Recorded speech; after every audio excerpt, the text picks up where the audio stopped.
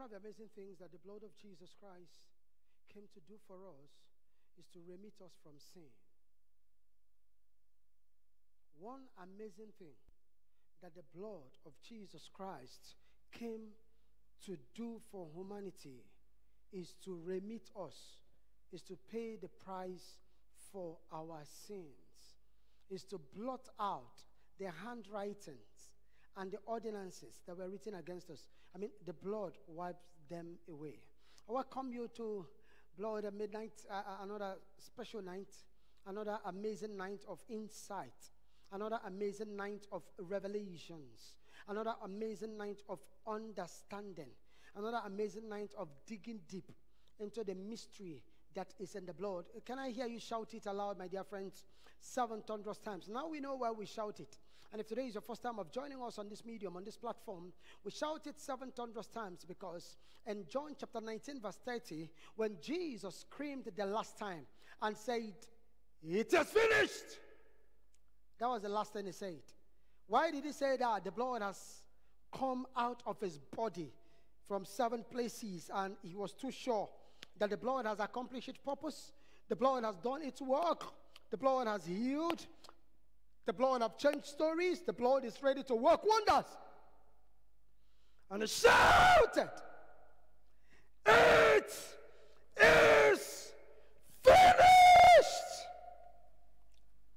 I'd like you to begin to thank God again while you shout the blood of Jesus Christ seven times. Shout it seven times. That disease is finished. That evil manipulation is finished. That evil manipulator is finished. The conspirators are finished. It was finished for the Egyptians. I know the captivity, the slavery, the evil that has befallen you. They are finished. Shout the blood of Jesus. Keep shouting it. It shall come to pass, whosoever shall call upon the name of the Lord shall be saved. And God told me, I, I say it often, it shall also come to pass that whosoever shall plead the blood of Jesus shall be free. It shall come to pass. Lift up your voice and plead it. Plead it seven times the blood of Jesus. Plead it again the blood of Jesus. Shout it with understanding the blood of Jesus screaming aloud, the blood of Jesus. Say the fifth time, the blood of Jesus. Shout it aloud the sixth time, the blood of Jesus. Say with understanding the seventh time, the blood of Jesus Christ. Colossians chapter 2. Colossians chapter 2, verse 14 and 15. Colossians chapter 2, verse 14 and 15 having wiped out the handwritings, the handwriting of requirements that was against us, which was contrary to us, and he has taken it out of the way, having nailed it to the cross. Verse 15. Having disarmed principalities and powers, he made a public show or spectacle of them, triumphing over them in it. We're going to be thanking God tonight for the blood that wipes out their handwritings and the ordinances that were against us. We're going to be thanking God for the wiping of the ordinances and handwritings ordinances of punishment, ordinances of sicknesses, ordinances of diseases, ordinances of evil, ordinances of lack, ordinances of stagnation. We're going to be thanking God that they've been wiped out by the blood of Jesus. Handwritings and ordinances that were written against us, they've been wiped out by the blood of Jesus Christ. Lord, I thank you for wiping out the ordinances, for wiping out the handwritings, for wiping out everything that that were written against us. Thank you for making a public show of them. Thank you for disgracing them. Thank you for making a public spectacle of them. Lord, I give you thanks. Can you begin to thank God? Can you type it as we comment, start up tonight, and type it handwritings and ordinances has been wiped out. by the blood. Handwritings and ordinances that were written against me, they've been wiped out by the blood. Come on, declare it. Handwritings and ordinances that were written against me, they've been wiped out by the blood. Come on, say it again. Handwritings and ordinances that were written against me, they've been wiped out by the blood. Lift up your voice and declare it. Handwritings and ordinances that were written against me, they've been wiped out by the blood of Jesus Christ. Contrary things that were against me, they've been wiped out by the blood of Jesus Christ. I welcome you to Blood of Midnight, wherein we're going to be looking at how to be healed by the blood. There is spiritual sickness, there is physical sickness, there is mental sickness, and there is emotional sickness. Spiritual, mental, emotional, and physical.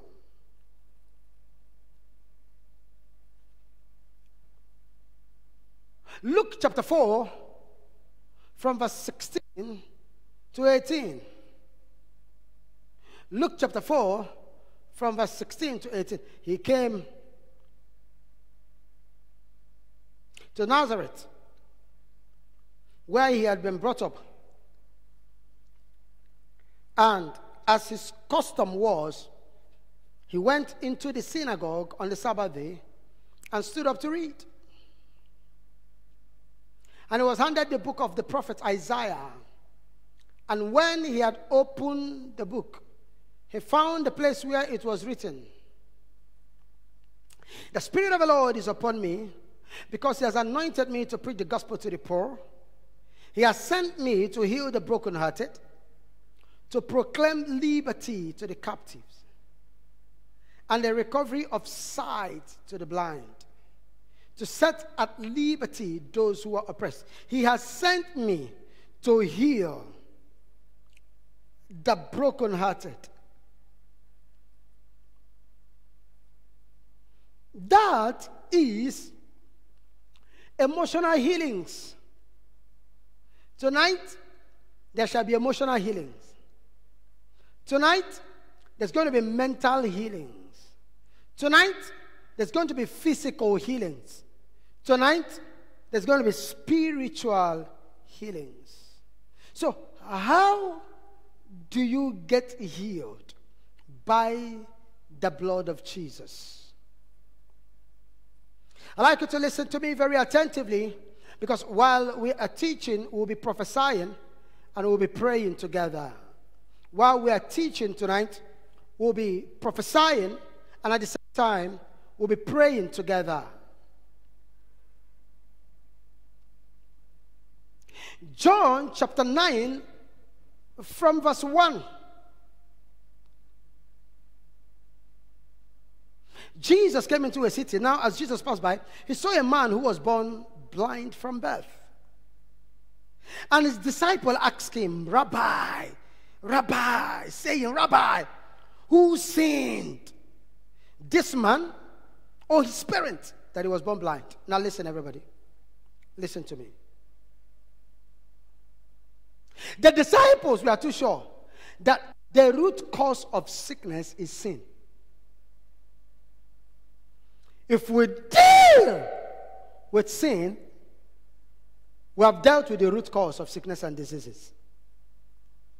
So Jesus came and dealt with sin,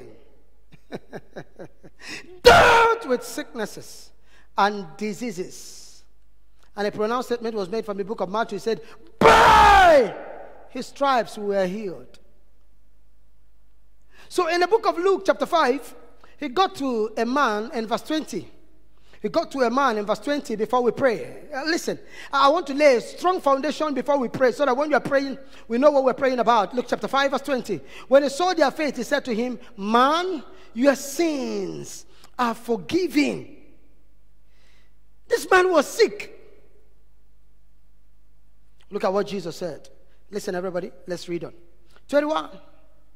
The people, when they heard it, the scribes and the Pharisees began to reason, saying, Who is this man who speaks blasphemies? Who can forgive sins but God alone? Verse 22. Hmm. But when Jesus perceived their thought, he answered and said to them, Why are you reasoning in your heart? Which one is more easier to say? Which is easier to say, Your sins are forgiven you, or to say, Rise up and walk? Which one is more easier?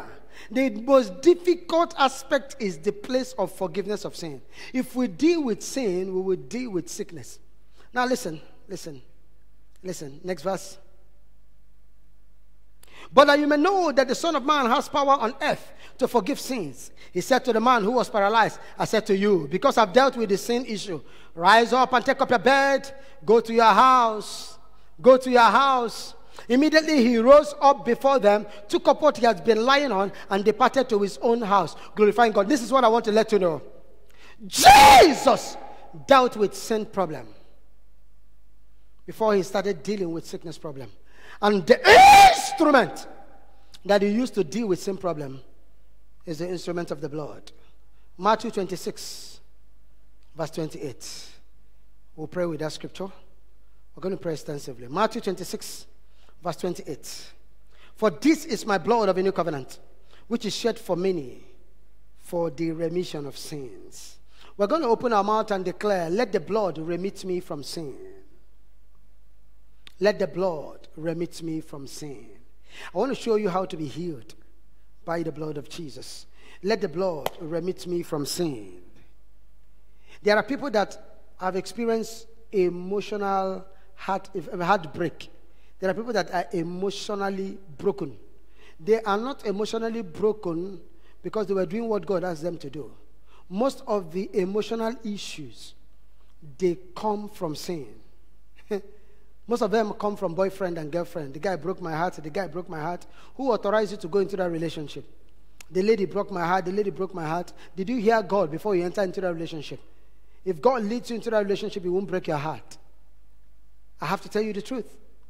If God leads you into that relationship, you will not suffer heartbreak. Heartbreak is a function of sin. It is why you are committing sin, especially sexual sin. The guy has disvirgin you you have given the guy your money, and the guy has traveled outside the country, the guy said, I'm not marrying you again. You experience heartbreak because it is not God's will for you. You force yourself into it. Tonight, you're going to ask God every emotional imbalance, emotional sickness Everything that have affected me emotionally now, some of us may not be in that way. It might be business failure. It might be disappointment in business. It might be disappointment financially. It might be something that is not supposed to happen. Maybe loss of a loved one. We're going to be declaring tonight and said, Oh God, oh God, heal me and remit me from every sin. Remit me from, as soon as you are remitted from sin, you will be remitted from that problem. So I want you to begin to declare, remit me from sin and remit me from sickness. Remit me from emotional sickness. You can't even pray again. Open your mouth and say, Lord, remit me from spiritual sickness. You can't even study the Bible again. The last time you pray was the corporate prayer they prayed in church. You can't pray as a person again. Individual prayer, you wake up, Father, Lord, I thank you for waking me up. You take your bath, you rush out of the house. Father, revive me and remit me from spiritual lukewarmness. Remit me from spiritual backwardness. Remit me from spiritual sickness. I like you to pray that prayer. Remit me, oh God, from sin sin, sin of lukewarmness, sin of every form of complacency, sin of spiritual laxity, sin, sin of every contrary issue. Remit me from sin. Ladies and gentlemen, let me tell you why you need to pray this prayer.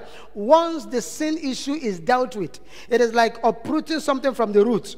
The grass, the branches, the fruit will not come up again. Sickness is a byproduct of sin.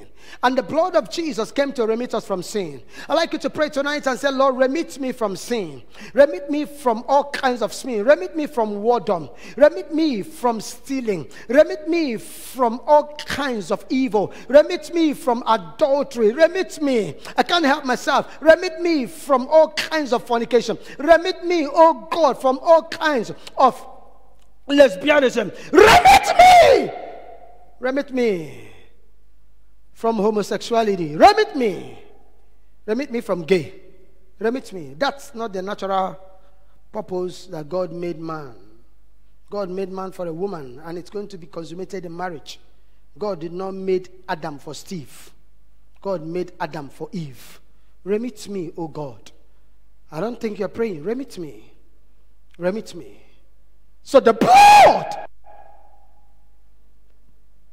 came to remit us not only from sickness, but also from sin. Lord, let your blood remit me from sin. Lord, let your blood remit me from sin. Ask Him to remit you from addiction, things you have been addicted to. You are addicted to alcoholism. There's no how you will sleep without taking alcohol. There's no how you sleep without engaging in drugs and marijuana. Remit me. Pray for yourself. Someone is about to experience true freedom that comes from Christ. Someone is about to experience true freedom that comes from Christ. Someone is about to experience true freedom that comes from Christ. Someone is about to experience true freedom that comes from Christ. Somebody is about to experience true freedom that comes from Christ. Lord, remit me from sin. Quickly begin to pray and say, Lord, by your blood, I want you to understand how the blood does it.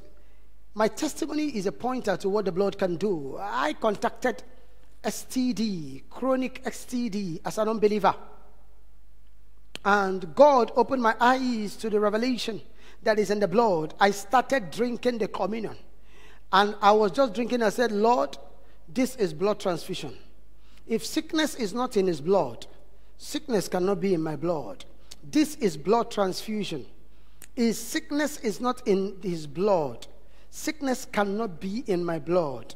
This is blood transfusion. If sickness is not in his blood, sickness cannot be in my blood. This is blood transfusion. His sickness is not in his blood. Sickness cannot be in my blood. I started taking it. I started taking it. I started taking it. When I went for the last test, which our church asked us to go for, our church, Daystar Christian Center, and the CD of Lagos, and we went for the test. They diagnosed me, run all the tests. They could not see any traces of sickness. And the Spirit of the Lord ministered to my own spirit and said, I have overhealed you. Take the message of the blood to your generation. And how do I know? Inside the blood of Jesus Christ, it was screened. The blood of Jesus was screened. And inside the blood of Jesus, there is no traces of sickness. So whenever I take it, I said, whatever that is in his blood must enter into my blood. Ladies and gentlemen, in his blood, there is healing and health. Tonight, as you take it, as you take it, you're going to be activating it in prayer. Lord, there is healing and health in your blood. There is vitality and strength in your blood. As I partake of it, let the content that is in your blood become the content that is in my blood. And whatever that is in my blood, let it be flushed out by your blood. Amen. Whatever that is in your blood, in my blood, let it be flushed out by your blood. Is it my blood group? Lord, let it be flushed out. Yes. Is it, is it, is it, is it cancerous issue? Let it be flushed out. As simple as I'm saying it, that's how it's going to be. Let it be flushed out by the blood. Is it anything that is related to your bone marrow? Let it be flushed out by your blood. Is it whatever that is affecting your pancreas in your stomach? Let it be flushed out by your blood? Does it affect your liver? Let it be flushed out by your blood. Does it affect your kidney? Let it be flushed out by your blood. Are you standing, you know, uh, as a point of, you know, in, in position for another? In your family, your husband, your wife, whoever it is, let this thing be flushed out by the blood. I told a lady, a lady told me rather, that each time she prays, because they are husband and wife, that she will be praying, calling the husband's name as if she's the husband. Why? Two shall become one. Two shall become one. Open your mouth and declare it. Anyone that I'm standing in gap for, as I partake of the blood tonight, let that issue in his system, let that issue in her system, in her organ, in her tissue, in her cells, in her blood, let it be flushed out by the blood. The blood flush out diseases. The blood flush out issues. The blood flush out things that are not meant to be in your system. Tonight, as we take the communion, let those things be washed out by the blood and let what is inside the blood let it be what is inside my blood. I'd like you to begin to pray it. Sickness is not in his blood. It cannot be in my blood. As long as it's not in his blood pray that prayer. It cannot be in my blood. I can't be drinking his blood and something else will be in my blood. Sickness is not in his blood. Disease is not in his blood. Those Contrary things are not in his blood. Therefore, tonight, excuse me, I make a declaration. Those things cannot be in my blood. Those things cannot be in my blood. Tonight, let there be blood transfusion. Before we get into the communion table, let me show you something from the book of John, chapter 6 verse 53 and 54.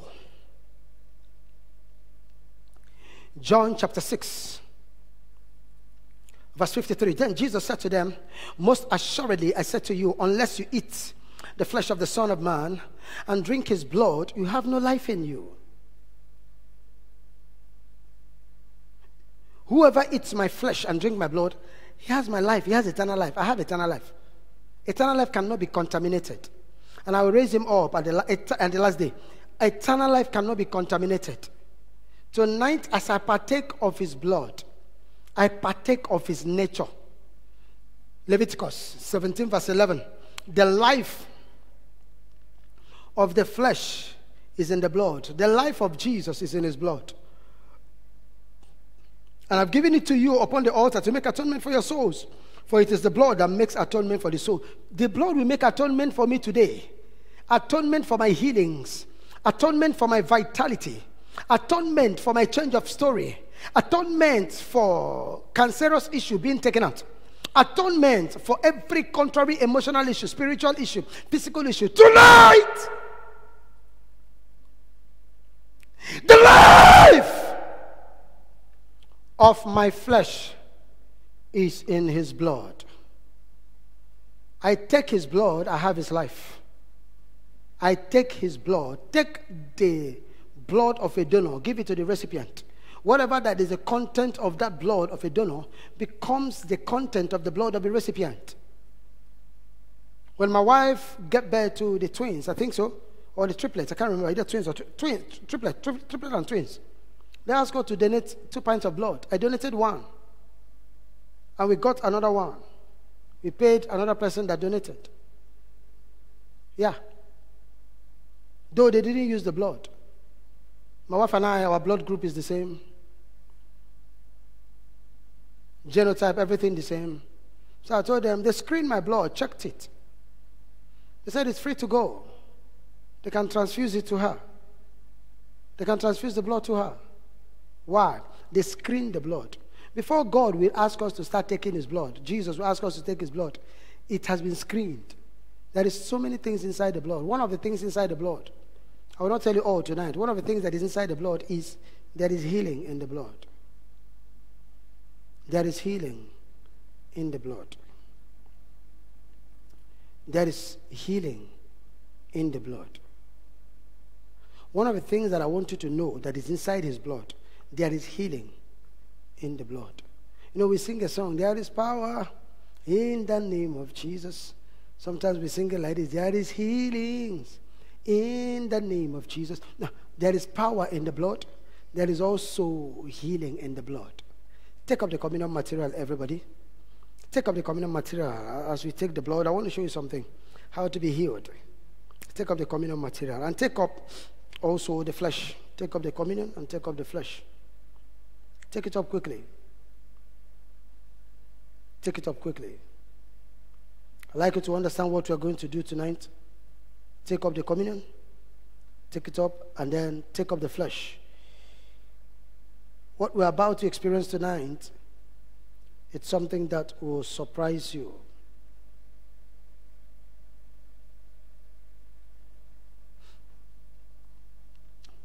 Take up the communion material.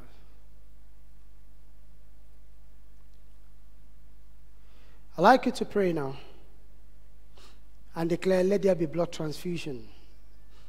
Let whatever that is in his blood, let it enter my blood. I'd like you to pray that prayer. Let whatever that is in his blood, let it be in my blood. Anything that is inside his blood, one of them is healing, health, and vitality. Whatever that is, is inside his blood, let it be in my blood. You're not just taking for taking sake. If the blood of bulls, blood of animals, blood of heifer, blood of calves can do this work, how much more the blood of Jesus?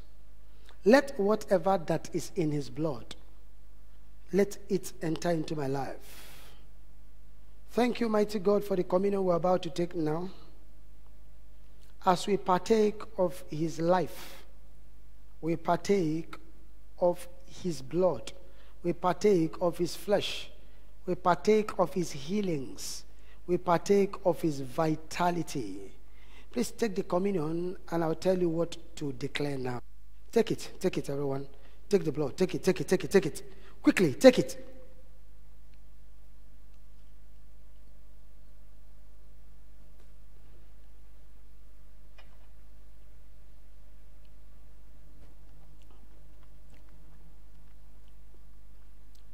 Lift up your voice and begin to declare it. By his stripes that brought out blood, I am healed. Lift up your voice and begin to declare it now. By his stripes that brought out blood, I am healed. I am not here to pray for you. As much as I am praying for you, I'm here to lead you into things that will help you for many years from now. I'm praying for you, one. I'm teaching you two, and I'm showing you the way. I will make declarations. But most importantly, I will always like you to open your heart and pray for yourself. Jesus trusted the disciples to pray for him. But whenever he comes around to look out for them, he realized they were sleeping. Don't just depend and entrust your life in the hands of those praying for you in the morning and in the evening. They are leading you. They may not pray how you want it. Pray for yourself, my dear friends. That man cried out and said, Son of David, have mercy on me. Nobody, people want to shut him up. Nobody can do that for him. Jesus said, Come. He wants to tell you to come, he wants to hear your voice. Open your mouth and pray for yourself. Let the healing power, let the healing power, let the healing power that is in the blood, let all the content that is in the blood, let them find expression in my body. Let them find expression in my emotions. Let them find expression, expression in my spirit. Let them find expression in my mind. I can't fail exam again. I can't be regarded as someone that is dull and dormant and dullard. The blood of Jesus has activated something on my inside. My brain works like the brain of a learned. My spirit man is activated to commune with God at all time. My body is revitalized with health and vigor and vitality. Come and pray. And my emotion is intact. I am healed. The broken heart and every other thing that wants to be domiciled in my emotion, it is over. Come and pray for yourself. Lift up your voice and make that declaration. Kaniakut ombroji alaba. Masakati la bakato sondo brokotozia. Eshanti akataliba to pro zonto kopotoluba. Masakatatata klapato zondo brokotozia. Lia lia lia la brojia la makataza nda klipatoza. Empalia katazanda klitada. Come on, pray. Come on, pray. You can't be quiet. That man shouted. And Jesus said, Come. He said, I want to receive my sight. He said, Take it. Take your health back. By the power that is in the blood of Jesus Christ. None of the diseases that was upon the Egyptians, none of them will come upon you. What is in the blood is in your blood now. What is in his body is in your body now. What is in his flesh is in your flesh. You are a partaker of his life. You are a partaker of his life. You are a partaker of his life. You are a partaker of his life. You are a partaker of his life. I declare tonight, let his life enter your life. Let his life enter your life. Let his life enter your life. You can't be doomed with sickness and diseases. I hear the word John chapter 11, verse 2 to 4. John chapter 11, verse 2 to 4. It was that Mary who anointed the Lord with fragrance of oil and wiped his feet with her hair, whose brother Lazarus was sick. 3. Therefore the sister sent to him, saying, Lord, behold, he whom you love is sick. When Jesus heard that, he said, This sickness is not unto death, but for the glory of God, that the Son of God may be glorified through it. I'd like you to pray. This emotional sickness cannot kill my emotional life. This spiritual sickness is not unto spiritual death. It's not unto spiritual death. Come on, pray. This physical ailment is not unto death. It's so that the name of the Lord might be glorified. Begin to declare it. Begin to declare it. John chapter 9. The Bible speaking in verse 3 and 4. It, says, it, said, it said it's not about sin now. It's, not, it's so that the name of God might be glorified. I am the light of the world. As long as I'm in this, Jesus answered, Neither this man nor his parents sin, but that the works of God should be revealed in him. Declare it over your life God's work shall be revealed through me. God's testimonies. Can you type it, everybody? Tonight, by this intake of the blood, his testimony will be revealed through me. His life will be revealed to me. His vitality will be revealed through me. His health will be revealed through me. Even when he made that declaration, they got to the place. They said, Lazarus is dead. He said, Forget it. Did I not tell you if you believe, you shall see the glory of God? John chapter 11, verse 40. Tonight, declare it to yourself. He said, I believe that this thing has been turned for me for testimony. This thing has been torn for me. This sickness has been torn for an occasion for testimony. This thing has torn for the glory of Jesus. Said, Did I not say to you that if you believe, you will see the glory of God? Tonight I declare, I shall see the glory of God in my health. I shall see the glory of God. There is marital sickness. I hear the word. There is financial sickness. I declare you healed your hands cannot lack again. Put the communion in your hand. Put the little of the communion in your hand. And declare by the blood of Jesus Christ, this hand shall not be empty again. Declare it. Financial healing takes place. This hands shall not be empty. Put the communion in your hand. Put the communion. Take the communion and put a little in your hand. Put a little of the blood in your hand. Put it in your hand. Carry it. Put it in your hand. By the blood. I am delivered from lack. Put the communion in your hand. By the blood, I'm delivered from lack. Stretch forth that hand. Stretch forth that two hands. I like you to stretch it forth. Stretch it forth. Stretch it forth. I speak forth over your life that anything that have caused any form of lack of resources in your hand, I declare right now, your hand is healed of lack. And from now onwards, I declare mysteriously, business wise, favor wise, opportunity wise, contact wise, different means, let resources begin to flow mightily into your businesses, into your career, into your life. In the name of Jesus Christ. Say with me, lift up your right hand and say with me, I am healed by the blood from now onwards, anything that is not in his blood cannot be in my blood. Therefore, I am a partaker of his life, full of health, vigor, vitality, strength, and health. Because I drink his blood and eat his flesh, his life has entered me. Just as they transfuse blood and the content from the donor becomes the content of the recipient. Because I take his blood, the content in his blood is the content of my life. No more sickness, no more diseases, No more contrary situation. No more emotional issues. No more spiritual laxity. I am healed by his blood. Give him thanks tonight. Give him thanks tonight. By faith, someone that knows that healing have taken place, let's give him an offering of appreciation. Thank him. Abraham, Romans chapter 4, verse 19 and 20. Abraham was strengthened in faith, giving God glory. Abraham did not see Isaac, but he was just returning praises, glory, thanksgiving, offering everything to God. All right? Let's give God an offering in faith that it is done. Romans are not being weak in faith. He did not consider his own body already dead since he was about 100 years old. And the deadness of Sarah's womb. Verse 20, verse 20. He did not waver at the promises of God through unbelief, but was strengthened in faith, giving God glory.